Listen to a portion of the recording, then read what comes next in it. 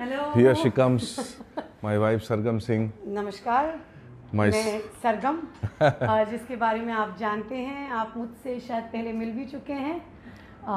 अभिमन्यु जी की मैं वाइफ भी हूँ अभिमन्यु जी की मैं वर्किंग पार्टनर भी हूँ क्योंकि ये सुख शांति से एक्टिंग कर सके इसलिए इनका बाकी काम मैं संभाल। हमारी पहली मुलाकात अयोध्या में हुई। अयोध्या में। राम अयोध्या में हुई। अब उसके आगे की लाइन आप मत बोलिएगा। राम मिला एक जोड़ी एक अंधा एक कोड़ी। जी हाँ मैं भी ठकराई हूँ। मेरे हाँ जी मेरे फादर काठियावाड़ी राजपूत हैं गुजरात से। सो so, हम हैं दोनों राजपूत इसलिए मेरी फैमिली बहुत ही खुश थी। जब मैं उन्हें पता चला कि लव मैरिज है पर लड़की ने ढूंढा लड़का कास्ट का है। तो अभिमन्यु जी मेरी मम्मी मेरे साथ थी अयोध्या में जब इनसे मुलाकात हुई थी।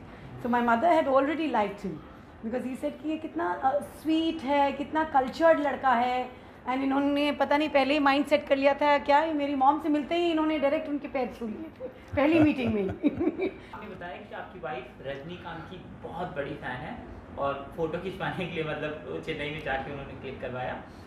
मिलवाएँगे नहीं आप? अरे हाँ आओ। Please come hello here she comes my wife Sargam Singh नमस्कार। मैं सरगम। जिसके बारे में आप जानते हैं आप मुझसे शायद पहले मिल भी चुके हैं। अभिमन्यु जी की मैं वाइफ भी हूँ अभिमन्यु जी की मैं वर्किंग पार्टनर भी हूँ क्योंकि ये सुख शांति से एक्टिंग कर सके इसलिए इनका बाकी काम मैं संभाल हैं। absolutely. इनका? जी हाँ यस मैनेज करती हैं और ये बहुत सपोर्ट में हमेशा रही हैं। और मुझे याद है जब हमारी नई नई शादी हुई थी स्ट्रगलिंग फ़ेज़ में हम थे तो she stood by me always like a rock और टिल डेट आप लोग की पहली मुलाकात कहाँ पे हुई थी? हमारी पहली मुलाकात अयोध्या में हुई। अयोध्या में। राम अयोध्या में हुई। अब उसके आगे की लाइन आप मत बोलिएगा। राम मिला एक जोड़ी एक अंधा एक कोड़ी। आप भी घबराए हैं? जी हाँ मैं भी ठकराई हूँ। मेरे हाँ जी मेरे फादर काठियावाड़ी राजपूत हैं हाँ। गुजरात से। हाँ। सो हम हैं दोनों राजपूत इसलिए मेरी फैमिली बहुत ही खुश थी।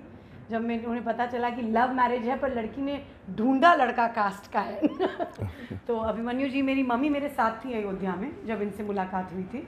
तो my mother had already like him because he said कि ये कितना स्वीट uh, है कितना कल्चर्ड लड़का है। एंड इन्होंने पता नहीं पहले ही माइंड सेट कर लिया था क्या ये मेरी मॉम से मिलते ही इन्होंने डायरेक्ट उनके पैर छू लिए थे पहली मीटिंग में ही।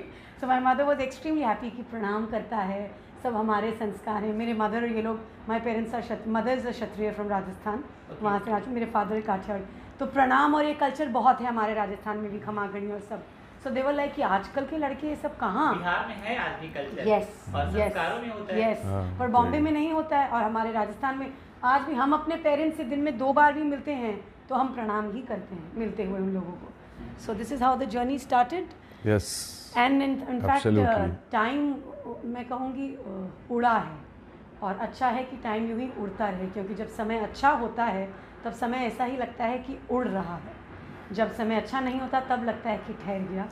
कितने साल पहले मिले थे? कितने साल की ये बॉन्डिंग हो गई? सोलह सत्रह साल की बॉन्डिंग है। ये सोलह साल शादी? हाँ। 16 इयर्स जनवरी में sixteen anniversary and eight months of courtship हमारी कोर्टशिप बहुत कम समय के लिए थी। उसके बाद अभिमन्यु जी ने कहा कि भैया अब तुम शादी कर लो तुरंत। कौन सी बात आपको इनकी सबसे ज़्यादा भाई और आपको लगा कि यही है? पता नहीं देखते ही कुछ ऐसा क्लिक हुआ कि इसको मैं जानता हूँ पहले से कुछ मिला हुआ हूँ और मिलते ही लगा कि ये सूट करेगी मुझे। आपको कई बार ना लड़कों के अंदर ये कॉम्प्लेक्स भी होता है कि क्या ये मुझे पसंद करेगी ये तो ज़्यादा मतलब यू नो नहीं उस बारे में तो मैं कॉन्फिडेंट था कि वो ये करेगी पसंद। But we had a very जैसे माई मेरे बच्चे जब आजकल ग्रो हो रहे हैं sometimes when they see a movie my daughter she says what is this stupid concept mama love at first sight she is like पहली बार देखते ही थोड़ी ना प्यार हो जाता है क्लिक हो जाता है.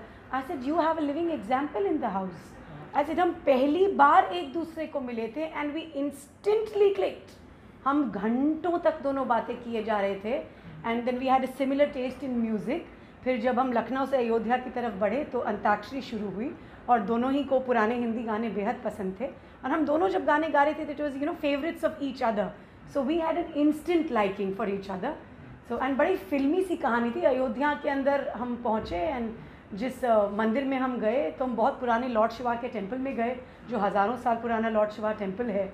वहाँ पे हम मिले, वहाँ पे। सो इट वॉज़ लाइक ऐसा लगा कि दिस वॉज़ ऑल क्रिएटेड जैसा कि ये सब कुछ होना था, ये तय था। ऊपर वाले ने लिख के भेजा था कि यही है तुम्हारा जीवन साथी और ऐसे मिलेगा because it was all very quick very fast मेरी तो आप वेट कर रही थी कि मुझे प्रपोज करें कुछ बोले कुछ ऐसी बात? हाँ मैं वेट तो बिल्कुल कर रही थी क्योंकि ये वेट ये कर नहीं रहे थे। हाँ। बड़े आसानी से पहले प्रपोज सो इनके फंडे बड़े डिफरेंट किस्म के थे शुरू में कि you know I don't so much I don't know when do I want to marry and जल्दी करना भी कि नहीं। जैसे ही मेरी कोर्टशिप का टाइम बढ़ते रहा within five six months इनको लगा लड़की हाथ से निकल जाएगी। तो उन्होंने कहा कि अब शादी कर लेते हैं जल्दी। कैसे प्रपोज किया था इन्होंने कि आपने क्या किया था? कहाँ पे? इन्होंने प्रपोज मुझे किया था मैं इनसे क्रिसमस ईव की रात थी ट्वेंटी फोर्थ दिसंबर 2005 और क्रिसमस ईव की रात थी और हम लोग पार्टी के लिए जाने वाले थे बाहर। एंड उसके पहले मैं पहुँची इनके घर and you know I was waiting निकलने के लिए। और इन्होंने मुझे बोला एक बहुत सिंपल सी लाइन थी जो मुझे बहुत अच्छी लगी। कि तुम्हें कुछ कहना चाहता हूँ ऐसे क्या कि क्या तुम मेरा साथ ज़िंदगी भर निभा पाओगी देन ही सेड कि नहीं नहीं मैं करेक्ट करता हूँ अपनी लाइन को क्या तुम मुझे ज़िंदगी भर झेल पाओगी so I just started laughing and I said, why not? I said, I was waiting for you to say that. So he said it. So I was very much in love with him and so was he and I think we are still.